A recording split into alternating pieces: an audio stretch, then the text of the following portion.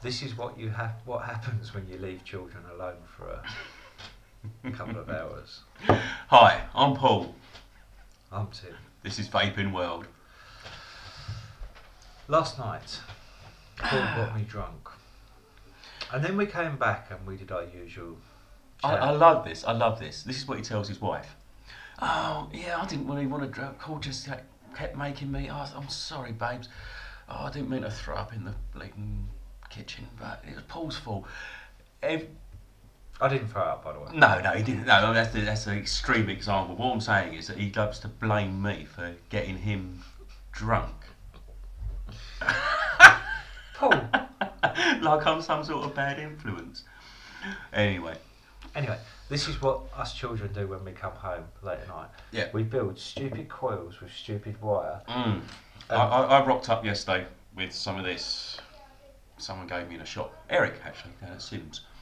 Sims 6 gave me, just as a little sampler, some 18 gauge. It's about a mil thick. It's like a bleeding coat hanger. Honestly. so I thought, hey, let's, let's, let's just try that. Now, try that when you've had a few. Luckily, it couldn't fire. It's not that it couldn't fire. We couldn't actually get the top cap. Yeah, we couldn't put It's it back in the, outside in the realms device. of the top cap. It's it's uh, what do we call it? It's around 0.8. It's Just uh, to let you know point eight, sorry, 0.08. It's a, This is this is how you can judge how drunk we were, yeah, between the two of us, yeah. Okay, you look at those two, yeah. I did this side and Paul did that side. He was definitely worse for wear. yeah, yeah. So so who so who's getting who drunk? Yeah. Right. Anyway, Why are we showing you this? we're, we're show, we're- actually we're showing you the CLT. It's a little dripper from Infinite. Innokin? Infinite, Infinite, Infinite, the famous clone makers. Oh. But they've taken the plunge, cut their teeth, if you like, on all those those clones they've been making for ages now, and a, had a bash at their own device. Yeah, and it's an interesting one actually. There's a lot Um, going on. There is. I've had it for a little while, and I've had a little play with it, uh, and it is an interesting one. It's a bit different from the usual. I'm just going to pull these out. These heavy lumps of metal Mm. of here. Put them back in the garden clothes pegs you found them from. Look at those. they are quite amusing, actually. Oh, no, look at the size of these blinking things. Look at it. Look at how thick that wire is. I've tried desperately to look around all the devices we've got kicking around here and find something we can build it in. I reckon if we took the spring out, we might be able to wind it a little tighter and just maybe single coil it and something. 'Cause you can get away with a smaller coil then. Says Paul hoping. Anyway, uh, we're going to pretend that I'm opening this right now in front of your eyes. Um, so I'm going to show you the box, and then we're going to do an uppy closey, and then we're going to play about with it together. Ah, okay. So there we go. Look, we've just got the CLT from Infinite. nice little box. Let's have a look uppy closey. Infinite hologram. Nice little box actually. Nice little tough one. Magnetic front. Do like a magnetic flap. Sorry, enough phone. I can't remember how this actually came together in the first place, so this is a rough um, guide to what it came like. An approximation of what's Yeah. in the box. Uh, I like the fact that they have actually printed the uh, instructions on the front of it. Quite nice, actually. On the inside of the lid of the box, quite like that. There is some spare screws for your terminals and some spare O-rings. There is a Look at those. Ah, I see. These are grubs. yeah. You can do grub or screw, and we do like a grub. A grub is much better than a screw. Yeah. Does it come with a little Allen key for those? It does. Excellent. Um, there is an Allen key which is around somewhere. Yeah, it was in the box. It was. you get a screwdriver. I'll show you that in a sec. We get, this is not a tank section, it is a bit of nice Pyrex glass. That is actually a drip tip, kids. Like a tough cap. It is, it is. And then there's like an adapter section in there. I'm going to show you all this when we take it apart. I'll bring this back into the equation. So let's go straight to this baby here. Now what we've got within this, um, we have our chuff cap. This is actually the chuff cap section as well. This part here, and I'll show you that. So we have this drip tip, which is quite a nice little drip tip actually. I will pull it out and show you. Double O-rings on there. Very nice little no section. I don't know if you can see that. Let me see if I can get that in focus for you. Ooh, fading, fading, fading. No, no, no, it's not going to do it. Doesn't want to play, does it? Oh, there you go. Oh, there you actually go. say that. Wow. so there's a knurled section at the bottom there. A couple of little air dispension fins on it, as we like to call them. Heat dispersion. Heat dispersion, there we go. This is an adapter that comes out of here. Now the idea of this, I'm sticking with the drip tip for the moment, so we can use that in there. We can yank the standard drip tip out and we can pull the adapter out. There's an adapter in here that unscrews. Just a piece of Delrin material or PEEK. There's a slot, isn't there, cut in the top of it, so you can put your nail in there and start it off. There is, I'll show you that from an angle. Can you see the slot across the top there? There we go. So we can remove that section and we can put in this section here, which is a larger ball. So we're going from that to that basically. I don't actually think you needed this in there personally, but it is an insulator of sorts. Then we can use either the glass drip tip over the top, or you can use just a standard drip tip in it, or well, I say standard, chuff cap we call it. So there's your options there. So plenty of options: glass, chuff, adapter. Standard. Right. I think that glass one looks really nice. Um, I don't know. I think you put that on there, seeing the O-rings through there. Yeah, So, I know uh, you've you've got an O-ring phobia, but I, I quite like that. I, I have. I do prefer it to vape with if I'm going to be doing clouds with this. Now, things to know about this device. It does have an adjustable 510 copper centre pin, which is rather nice. Um, these airflow slots, you can see them nice chunky monkeys. Both sides. Now, what is different about this device is the airflow, in my opinion, apart from the drip tips. And I hope I'm going to be able to do this because I tell you what, off a device, it's not that easy to do but I'm going to give it a whirl. Doesn't help the fact that I've actually cut both my thumbs as well. So, um, uh, on, on, on Kanthal, I've done it on threads on top caps before, trying to like separate top cap from atty. And those threads can be razor sharp. sometimes. yeah. So you can close all three down at the same time if you turn it one direction. Can you see that? There we go. But something that's unusual about this is that happens obviously on both sides. But if we turn it the other direction, watch what happens, and this is quite clever. Sorry if I'm shaking a bit here. Can you see? We have the top hole is half closed, top slot should I say. The next one's fully open, the next one's fully open. I'm going to keep turning. This shouldn't be this stiff, but it's because it's got no juice on it. Top one is closed, and the next one starts closing. There we go. We're down to half of the available airflow there, so we've got one slot completely open, the next one half open. We then keep turning again, and you've got the next one, and you can go right down. So obviously, if you're using this, you've got a nice big two mil hole there. If you're using this with a smaller drip tip and your two mil hole, you can. So this gives it a kind of a multi-function device. So we have written on it there. Now bear in mind, I haven't actually read this.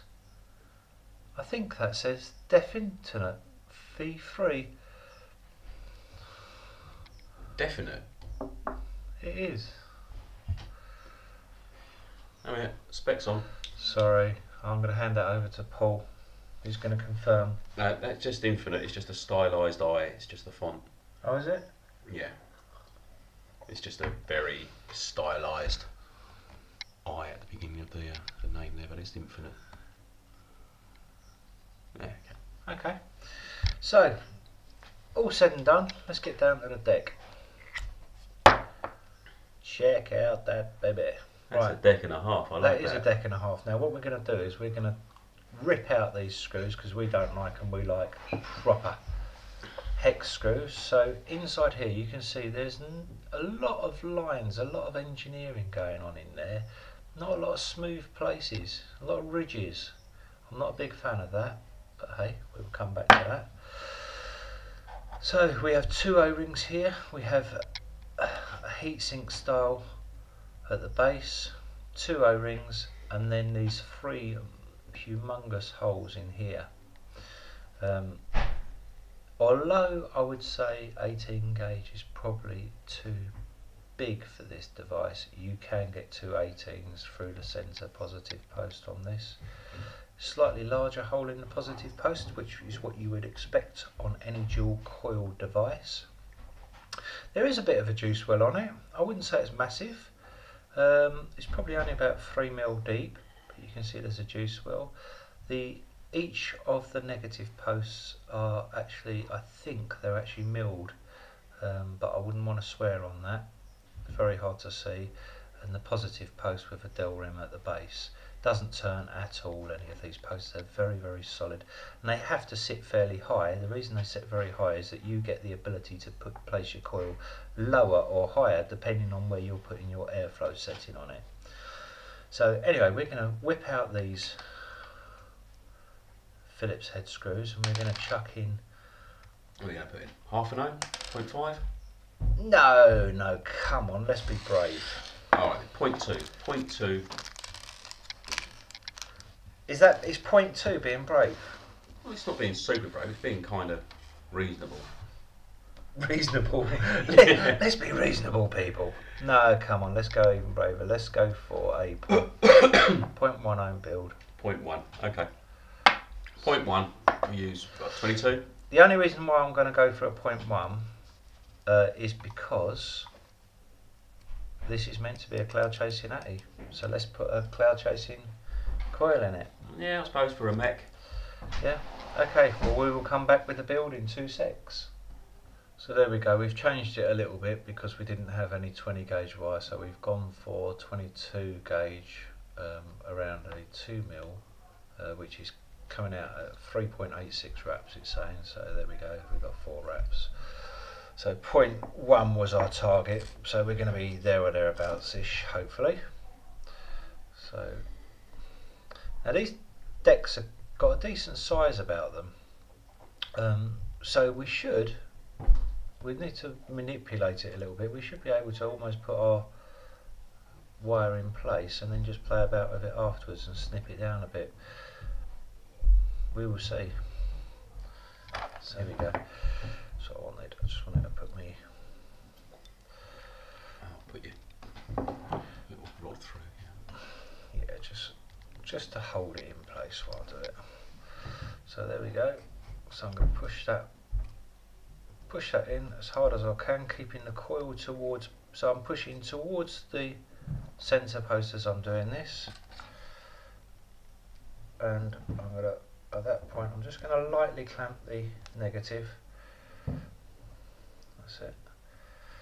Now I'm going to do a rough trim on the on the leads at the moment because I've been stabbed so many times recently. Can't bear any more blood. so there we go. Second coil going in, nice and simple.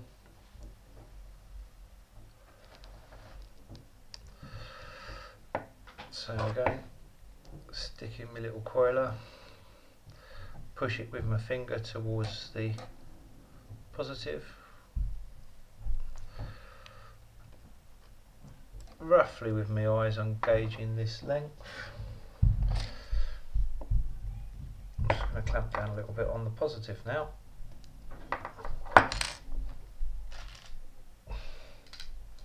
That's what I like about working with a larger gauge wire. You can play a little bit more with it on the when you're actually clamping it, uh, clamping it down.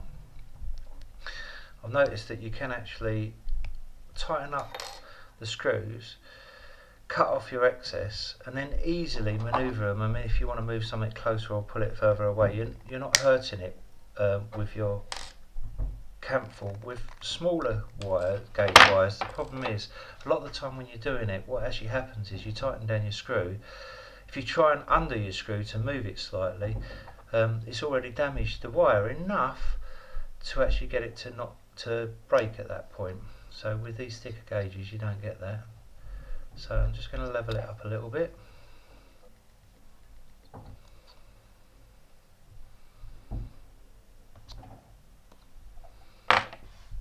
This is a very rough build, but when you've had quite a bit to drink the night before, you don't want to be too technical, do you? It looks like it'll work to me. Right, there we go. Let's do a quick resistance check on that.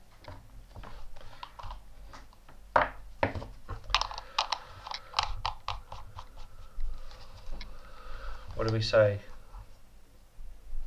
One. Point one five. Yeah, I was looking for point one, wasn't we? You're a little bit high.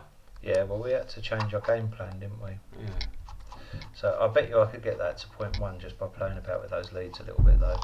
By um, Bringing the coils in closer. bringing the coils towards the centre a little bit more. But I do want to get airflow around them. I will. Oh. I'll squeeze them in a tiny bit, but not too much. And I, I don't think that's going to play too much with the image. So anyway, we're going to prepare some cotton and put it in there in a sec. So there you go. I've given them a little pull, tug, and uh, tighten up, and there you go, playing nice and evenly. So we're going to stick some cotton in this and um, give it a try. We've got some Japanese cotton in there. Now, neither Paul or I are massive cloud chasers, so this will be quite. This is a bit of fun. So what we're talking about here is we're talking about where we want to get the cotton just down to hit the deck, but we need to we need to have space underneath and between the positive and the coil. So we want space all the way around the coil for a cloud build. So what we're doing here, I'm just going to slightly trim these. They're probably a little bit too long. So I'm going to slightly, sorry, I'm going to slightly trim these, and then we're going to prime them, and then we're going to go for it. So, Yeah. You just want the cotton so when it drapes down from the uh, coil, it's just skimming the bottom of your juice well, if you like. So it's just picking up the juice that's in effect sloshing around there.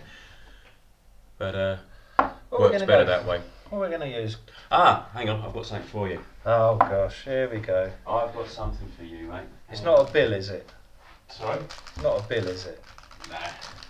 Hang on, where is it? This is my cherry pie. Cherry Cherry pie. pie. I hope it's got a lot of Creamy. VG in it, son. Creamy custard. There we go. Tim, this is bloody 85%. Right, here we go. Let's prime up our coils, get them to touch our decks. And what is this cherry pie? Cherry pie. It really works as a clouding juice because it's, for some reason, I can't get enough flavour of the cherry to work as a sort of flavour atty. Right. But it works really nicely at the high temperatures when you're, when you're clouding. Oh, sounds good, son. Yeah, it tastes nice. Right, so here we go.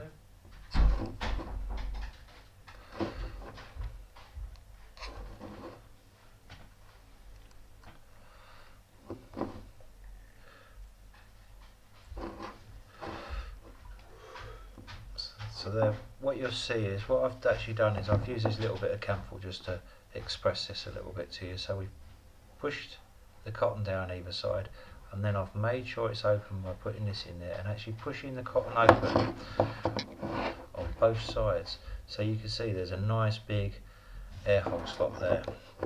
So that's how that's going to stay. Tiny little bit more juice there there is a juice well in the bottom of this so we can drop a little bit of excess in there which is quite handy when you especially when you're going this low but obviously we can drip straight through the drip tip so uh, let's just check that this is producing some vapour.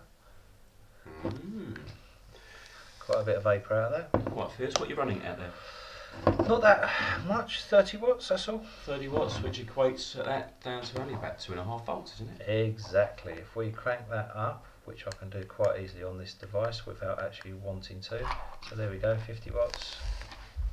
I think that's a bit of vapour coming off of there. Should we give it a vape? Go on then. Right, we're back. To pay homage to the Cloud Chasers, we have put the glass strip triptych on, which is giving us as much air as we can. In fact, we're going to go even madder. We're going to take out the little adapter in there because we don't need that, do we? And I will just let you know, and Paul will verify this, my wife has just put her head round the door and said, I hope you two are going to clear up in here. We're going to have, we're gonna have dinner in a minute. And, and all these clouds in here, we ain't even started yet. Don't start winding us up. Teasing boys. Right, so 50 watts, 2.78 at 0.15.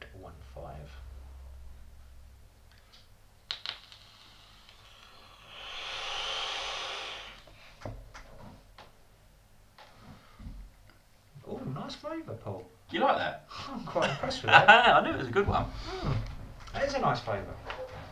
That has got a lot of air in it. That's totally. I mean, yeah, there's no restriction at all with those amount of air hole slots on there. You know, that's just like not firing it, just those. It's just like breathing in, Yeah. basically. Yeah. So let's add something else into the mix here. Hmm.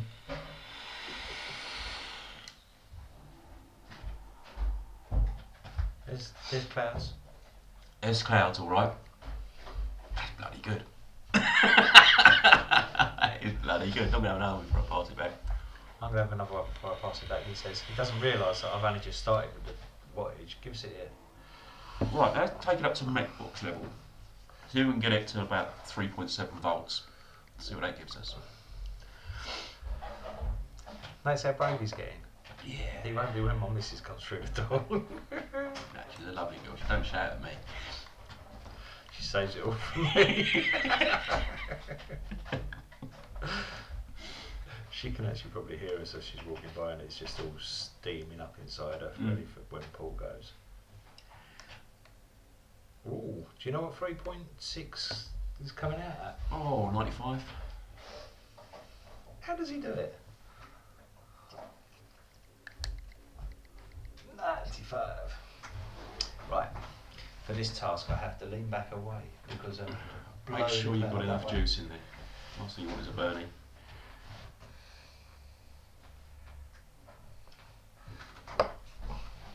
Right.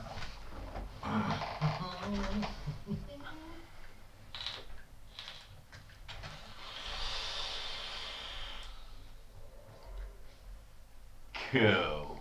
Actually, I like that. I like that. I can actually, i'll probably put too much juice in it. I'm actually drinking it, to be honest with you, when I'm leaning back. Bit too much juice in it. Yeah? Find that happens, just burn your way through it, and then all of a sudden you'll hit a sweet spot, gonna do juice in the in the cotton, bit. and then you know, then you know you can hit it. Yeah, don't tip it back, mate. Whoa! right, pass it over, mate. We're going to take it onto my lovely parallel box.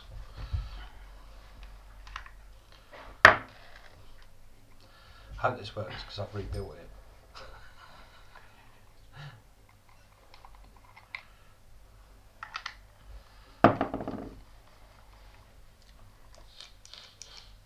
Ah, That's probably more like 100 watts now. 3.7 Yeah. freshest batteries, aren't they?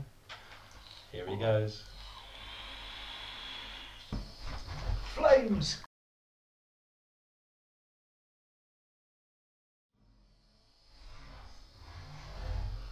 Flames! I don't know if you can see that on camera. I'm hoping that turbo flames coming out. It's a bit burny, a little bit more in there. A little bit burny, he says. A little bit of juice. There we go.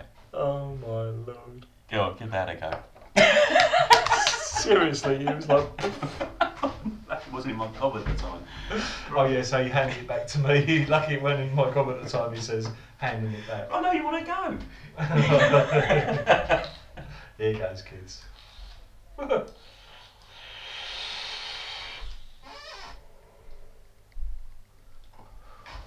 Master Blaster, that's all I can say. Right. So, obviously, you want another go? Yeah, another I'm go, loving look. I'm loving it. Paul has turned himself into a cloud chaser in one failed session. There you go, look at that.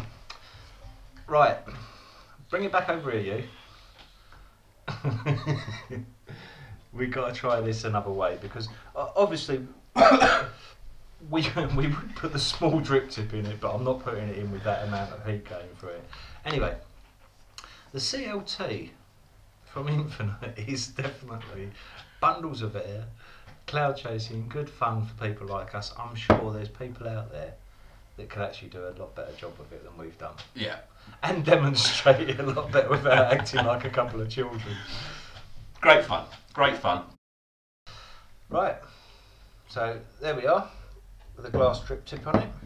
How it comes, it's a 22mm device. How it comes is uh, all made of stainless steel construction, has three drip tips. It has one glass, one Delrin and stainless steel, and one Delrin with the adapters.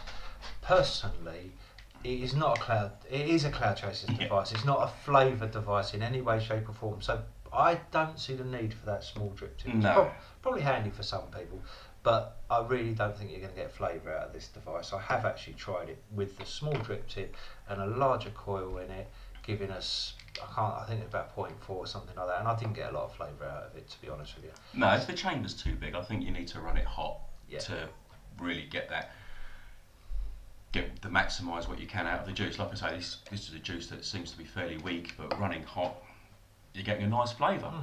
You are getting a nice flavour. Yeah. In, you know, in the context of cloud chasing, this is a nice flavour. So, the Infinite CLT version 3 RDA we bought from angelfiremods.co.uk. It was £27.99p, uh, which is about $35. Um, in my opinion, if you're a cloud chaser, you're going to do a lot better than we've done with this device. so, um, enjoy it. Um, thank you very much for watching. Yeah. Budget for loads of juice. Yes, yeah. Believe, honestly, I think I've done five mil in the course of this review. And I'm not going to stop him. I can tell he's going to carry on. So, hey, what the hell. Thanks very much for watching. Bye. Take care.